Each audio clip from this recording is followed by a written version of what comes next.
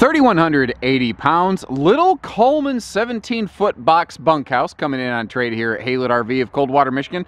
Looks to be in dynamite shape. Probably doesn't hurt that this RV was kept stored under a full RV cover. And judging by the fact someone was willing to keep this thing stored under a cover, for which, by the way, the cover is still included with this RV, you'll see it on the bunks inside. And like they added the little uh, larger folding entry handle. This looks to be something that was really well kept, and I suspect probably like a starter camper for the previous owners and something that they decided okay we like this we definitely just want to get something a little bit bigger. That's that's the uh, kind of the story that i'm putting together here. And again overall looks to be pretty well kept. Um in, in case you're kind of curious you're like man i feel like i've seen another camper just like this. Coleman is what's called a private label. Um, this is before the labels are attached it is literally just a Dutchmen Aspen Trail that has the Coleman badging so that it can be sold, quote, exclusively for one, you know, national chain. That doesn't make it better, doesn't make it worse. I'm just helping you understand what it is. This is an eight foot wide single axle camper. A lot of single axle campers are seven to seven and a half foot wide. So right here where you can see this corner Camp Queen with storage below, you can see that there's that big side stand next to it. That's because it's eight foot wide. That gives it a nice little place right here to, you know, kick your shoes off and whatnot little side stand up there, which I guess could be a headboard stand, could work as a nice little CPAP stand. A little bit wider means a little bit heavier, also means a little bit more of everything. For instance, we're going to get more storage as a result. And as we pan around, you'll also see this has a full four-person dinette versus a shrunken down kind of, you know, tiny dining situation. tiny dining, I like that. So this has a side mount air conditioner, as you can see. Because it's small enough, it doesn't need a big super duper overpowered roof air unit. And that will actually help keep the weight, the cost, and the uh, overall exterior clearance height of the RV down where it's a little more manageable. Um, down below here, again, you can see how this is a, since it's an 8-foot wide camper, they have room for a larger dinette, and I like that set of power outlets down there.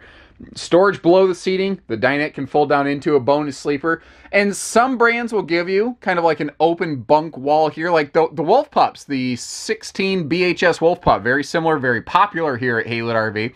The uh, top bunk won't be fully enclosed like this, but that does mean this has a nice entertainment wall.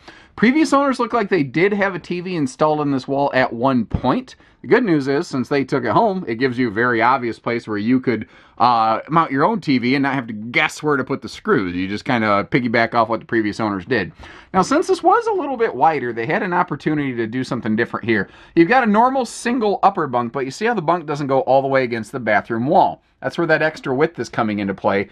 And down here, uh, where you see that's the full RV cover I mentioned before, but this is a little bit wider bunk. I call it like a big kid bed.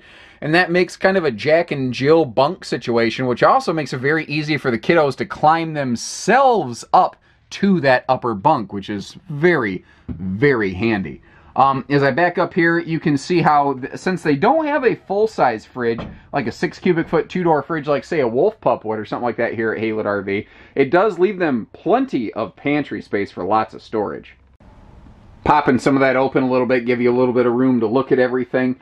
Um, pretty conventional, you know, kitchen arrangement for a small single axle bunkhouse camper like this. That is a combination fridge freezer. There is a freezer drawer in the top of it. It is two way, both 110 Park Power electric as well as propane. So, uh, you know, it does give you like an off grid option. Your furnace is right there located below that pull out drawer. It looks like somebody did some very gentle modifications to it to kind of create like an extra little sort of prep shelf that can flip open to be a drawer below.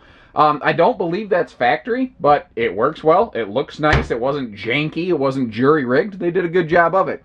Then just beyond that, as the camera adjusts to the light variance, you can see how this does have excellent either pantry or linen or combination thereof storage right next to that with the bathroom behind door number one and popping that open, you're not going to see anything earth-shattering or new or special or fancy. This is a simple series trailer, and it just simply works. That's all it needs to do.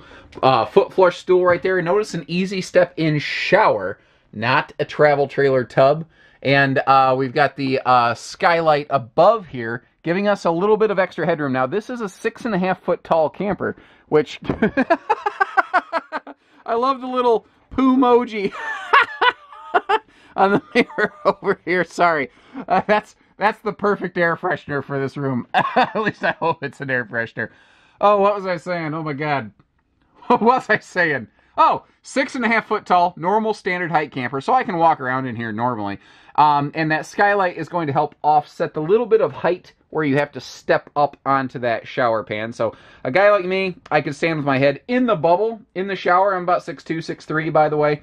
Um, you know, for a quick little weekend military shower, you'd be fine. Now, you might notice there's no shower surround paneling on these walls. It's really not a big deal. All you do when you're done taking a shower, take your towel, wipe the walls down real quick so you don't see standing water on it and uh, you know get the uh, vent open up here let some airflow go and you should be just fine there's really no problems with bathrooms like this just a lot of negative perception now uh, we're the type of place and i'm the type of guy if i see something i say something and i'm not i'm not even sure uh, what I just encountered is is for okay. So what I mean by this, because like you're like, what is he talking about, this idiot? Uh, right when you walk in the door, I don't know if there is a slight kind of springy spot in the floor, or if it's just these super duper padded insoles on my shoes that I'm wearing right now. I don't know which one it is. Uh, my foot felt a little squish, but I wasn't able to like relocate it. So Maybe I'm just wrong. Maybe I'm being paranoid, but I'd rather warn you and be wrong and have nothing wrong than not warn you and you show up and you go, you frickin' snake, you are a lion sack of crap. There's a bad spot in this floor and you hid it from me. Well, I'm not gonna do that. So if that's something you're kind of curious about, come check it out in person. We'll have our people walk through it. I could be wrong. Now, one of the things that this camper rock and rolls with is some serious uh, compartment storage here under the bed. Now, it is not a pass-through. It doesn't go all the way to the other side of the RV because that's where things like the water heater are located is under the headboard of the bed on the driver's side, but it gets the job done. I am noticing the double propane tanks and the uh, uh, hard shell enclosure on that. I uh, that is not a standard feature on Coleman campers. This normally the Coleman Lantern series is their uh, more basic entry level camper. It would normally have one propane tank.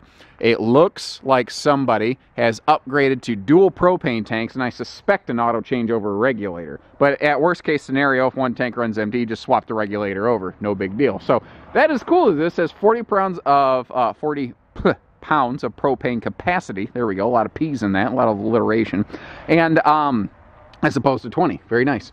Tinted windows are something you don't always find in this class, and that is something that you'll appreciate on a hot summer day. It'll help keep a lot of that sunshine out, or if you got an annoying, nosy neighbor, you don't have to worry about. Oh, tires. Let's look at the tires. I haven't looked at the tires. I'm not expecting anything scary here, but you never know. And in point of fact, tires look good. I don't see any weather checking or anything like that.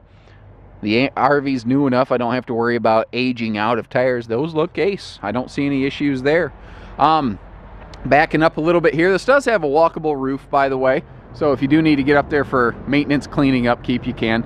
Uh, you might notice there's no ladder on the back of it. A lot of single axle campers just don't. But a lot of single axle campers, they're small enough. It's just, it's not that hard to have a ladder beside it and move the ladder once or twice on each side to get the RV clean. Now, if you're in like a big 40 foot fifth wheel, obviously that's a problem. That's why most of those tend to have ladders. It's just not necessarily as needed here. Um, that is a power awning also, which not all little trailers in this class have. Most of the ones uh, sold here at Haylett RV will.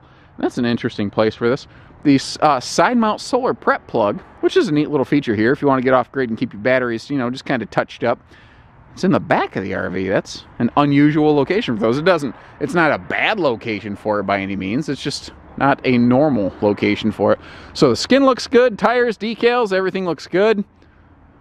I'm not really seeing anything that scares me, ladies and gentlemen. If you are uh, not interested in a pop-up you got a limited tow capacity, or you're just looking for something small, simple, maybe your first RV, you want to try camping before you go neck deep into a brand new one, this would be a nice little kind of starter or hard shell alternative to a, a, a pop-up, basically. And being in the used market, price is going to be right on it. So, give us a call here at Haylett RV. We don't do dealer fees, but hitching pieces, parts, trades, finance, truck and trailer package deals, RV delivery, and everything between, we do it all. So take care, stay safe, have fun, and happy Haylett camping, everyone.